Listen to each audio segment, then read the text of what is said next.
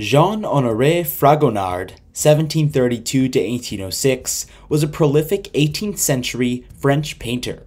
He created over 550 paintings that captured the spirit of the Rococo period. The Swing, his most famous painting, captures the wit and sensuality of a love triangle between the evokes and the erotic feelings of hidden desire and fleeting temptation. Let us investigate into a Fragonard masterpiece, A Forbidden Love in this video. Make sure to watch till the end and acknowledge the scariest painting. Also, don't forget to subscribe to Art Unfold for more videos like this one. Let's begin.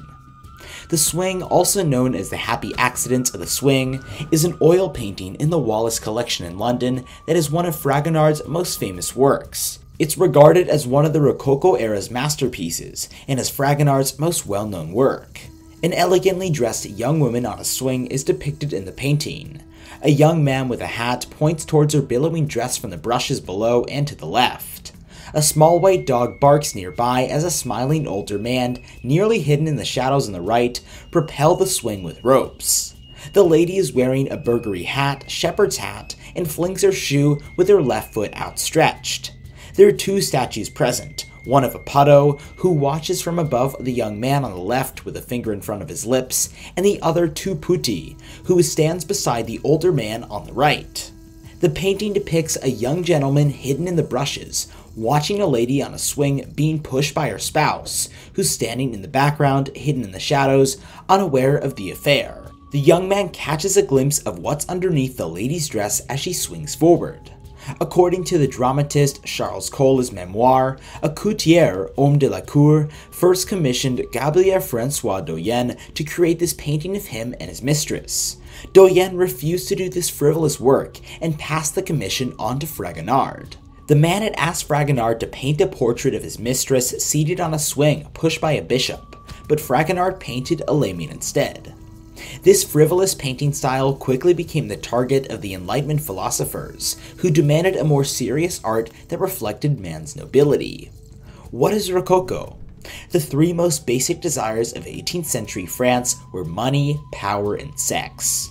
To be considered successful, you had to be wealthy, powerful, and attractive the French aristocracy worked tirelessly to gain funds, titles, and lovers for these three idols. The Rococo period was one of the self indulgence, where greed was rewarded and more was preferred. Being modest, insignificant, and chaste were cynically abandoned in favor of a more luxurious world of material comforts and easy virtues.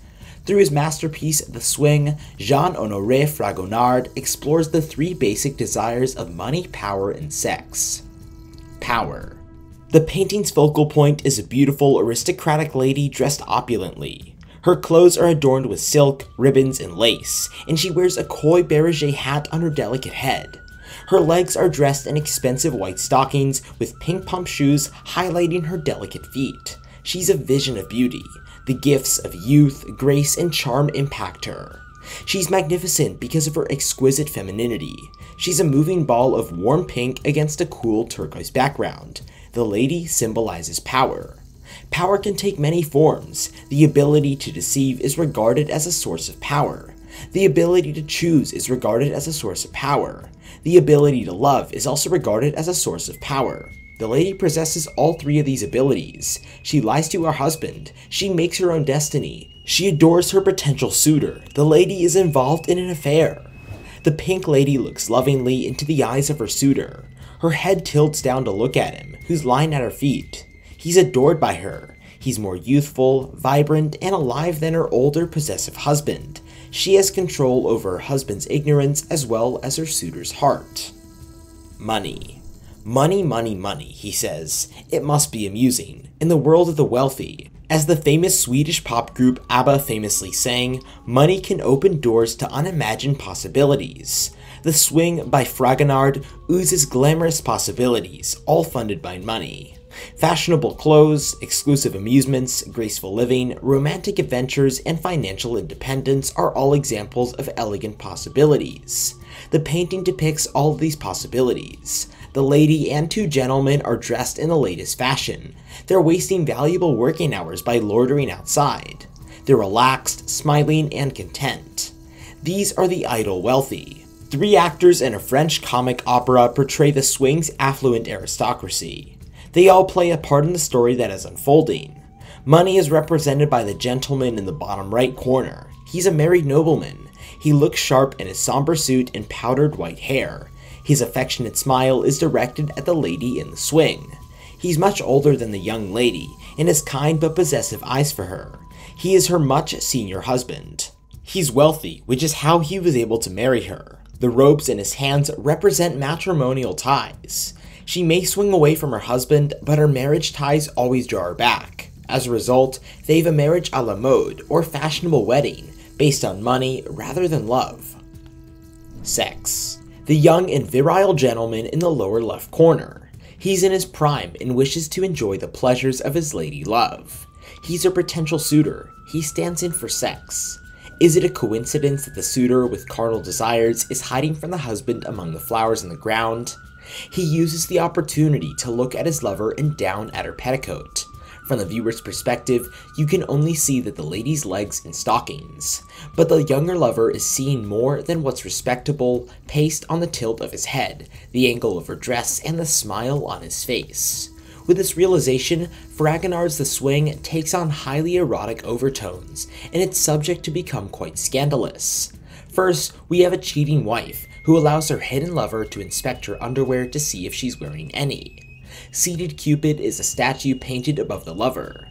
Etienne Maurice Falconet, a contemporary sculptor, created this famous statue in 1757 for King Louis XV's mistress, Madame de Pompadour. Cupid, seated, raises his hand to his lips and gestures toward the lady, indicating that he knows her secret. The statue represents discretion and secrecy, both of which are required for the lady love's fair to survive.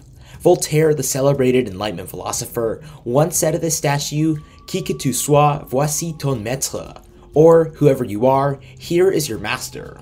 Love conquers all, and it fuels the drama in the swing. The Painter Jean Honoré Fragonard was a French painter and printmaker known for his late Rococo style, characterized by remarkable facility, exuberance, and hedonism.